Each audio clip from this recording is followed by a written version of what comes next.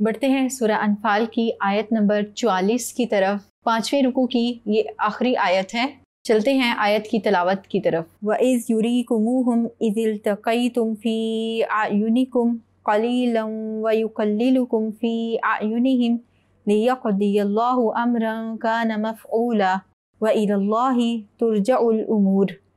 व इज़ और जब यूरी कुमूहम वो दिखाता था तुम्हें, वो फौज इज़ जब इल्तकई तुम तुम आमने सामने हुए, फ़ी में आयुनिकुम, आँखों में तुम्हारी कलीला थोड़ी वयुकल्लिलुकुम और थोड़ा दिखाता था तुम्हें, फ़ी आयुनिहिम, उनकी आँखों में।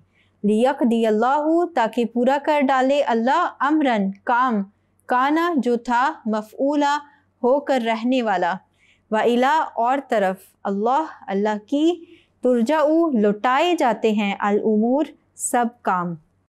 बामुहावरा तर्जुमा कुछ यूँ है, और उस वक्त जब तुम एक दूसरे के मुकाबिल हुए तो काफिरों को तुम्हारी नज़रों में थोड़ा करके दिखाता था, और तुमको उनकी निगाहों में थोड़ा करके दिखाता था, ताकि अल्लाह को जो काम करना मंजूर था, उसे कर डाले, और सब कामों का रुजू अल्लाह ही की तरफ़ है। आयत नंबर चौतालीस की तशरी तोज़ी कुछ इस तरह से है कि अल्लाह ताला यहाँ पर भी मुसलमानों की तादाद और काफिरों की नज़रों में मुसलमानों की तादाद का ज़िक्र कर रहे हैं। आप रिवाइज करें, रिकॉल करें आयत नंबर 43 की तशरी और तोज़ी को कि अल्लाह ताला ने रसूलुल्लाह सल्लल्लाहु अलैहि वसल्लम को ख्वाब में काफिरों की तादाद को थोड़ा करके दिखाया। इसके पीछे हिकमत ये थी कि मुसलमान ना मर्दी ना दिखाएँ, वो हिम्मत ना हार जाएँ और अच्छे तरीके से मुकाबला करें और आपस में नज़ा का शिकार भी ना हो और उनके दिल खौफ से भी पाक हो जाएँ।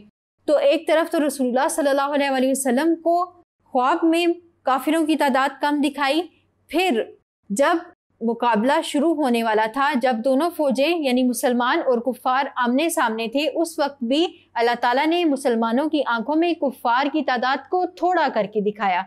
कुफ़ार कितने थे? एक हज़ार। मुसलमान कितने थे? तीन सौ तेरह। लेकिन उस वक्त भी ख्वाब में भी कम दिखाया और लाइव भी उनको काफिरों की तादाद को इंतहाई कम करके दिखाया ताकि वो जहाँ फिशानी के साथ लड़ें, पूरे हौसले और हिम्मत के साथ लड़ें। और इसके साथ साथ जहाँ मुसलमानों को काफिरों की तादाद कम दिखाई, वहाँ काफिरों को भी मुसलमानों की तादाद कम दिखाई। ये लड़ाई का आगाज़ था जब लड़ाई शुरू हो रही थी। उस वक्त में काफिरों को मुसलमानों की तादाद कम दिखाई ताकि काफिर अच्छे तरीके से लड़े और उनको अपने इसबाब पर, अपनी ताकत पर जो जम था, जो फ़ख्र था, जो गरूर था, वो कायम रहे और उनको लगे कि वो इस कलील तादाद पर काबिज आ जाएँगे, उनको मगलूब कर देंगे और ख़ुद गालिब आ जाएँगे। तो इसलिए काफिरों को मुसलमानों की तादाद कम करके दिखाई, लेकिन फिर सीन चेंज होता है, फिर मंजर बदलता है। फिर जब लड़ाई का दरमियान होता है, उस वक्त में काफिरों को मुसलमानों की तादाद दुगनी नज़र आती है। इसकी एक वजह यह भी हो सकती है कि अल्लाह ताला ने मुसलमानों की मदद के लिए फ़रिश्ते नाजिल किए थे तो इसलिए भी काफिरों को मुसलमानों की तादाद दुगनी नज़र आई। और दूसरा ये भी हो सकता है कि वैसे ही जिस तरह से अल्लाह ताला ने मुसलमानों की आँखों में काफिरों की तादाद कम दिखाई, इसी तरह से अल्लाह ताला ने काफिरों की आँखों में मुसलमानों की तादाद ज़्यादा यानी दुगनी करके दिखा दी। अब ये जो दूसरा मरहला था जिसमें काफिरों की आँखों में मुसलमानों की तादाद को ज़्यादा करके दिखाया, ये इसलिए था कि काफिरों की हवा उखड़ जाए ताकि उनके जो हौसले हैं वो पस्त हो जाएँ। अब वो लड़ाई में जैसी जान फिशानी दिखा रहे थे, वैसी ना दिखाएँ और उनकी सफ़ों में तजाद पैदा हो जाए और उनकी हवा उखड़ जाए और वो उस तरह से जम के लड़ाई ना कर सकें, उनके दिलों में मुसलमानों की तादाद की हैबत बैठ जाए।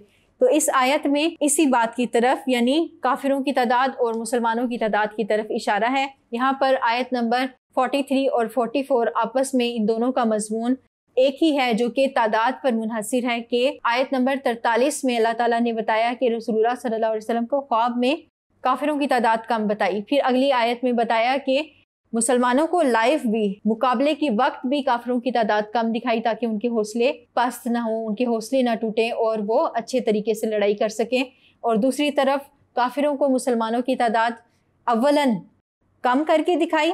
सानियन, जब लड़ाई चल रही थी, दुराने लड़ाई, मुसलमानों की तादाद दुगनी करके दिखाई ताकि उनके हौसले पस्त हो जाएँ। पहले का हमत ये थी कि काफिर जो है, लड़ाई से पीछे ना हटें, क्योंकि अगर लड़ाई शुरू होने से पहले ही उनको तादाद दुगनी करके दिखा दी जाती तो शायद वो लड़ाई से भाग जाते, वो लड़ते ही ना। और जिस तरह से अल्लाह ताला ने जो फैसला फरमाना था कि हक ने गालिब आना था, मुसलमानों ने गालिब आना था कुफ़ार ने मगलूब हो जाना था तो शायद वो मंजर ही तब्दील हो जाता। तो इसलिए इस हमत के तहत पहले तादाद कम दिखाई और उसके बाद लड़ाई के दौरान में ज़्यादा दिखाई, ताकि आप उनके हौसले पस्त हो जाएँ और वो मैदान जंग छोड़कर भाग जाएँ। आयत नंबर चौतालीस की तशरी तोज़ी के साथ हमारा सुरह अनफाल का रुकू नंबर पाँच मुकम्मल होता है। यहाँ पर आपके सबक नंबर पाँच की तकमील हुई। उम्मीद करती हूँ आपको ये सबक अच्छे तरीके से समझ आ गया होगा। अगले सबक के साथ फिर हाजिर होंगे।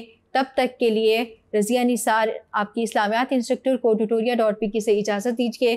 असल वरहमल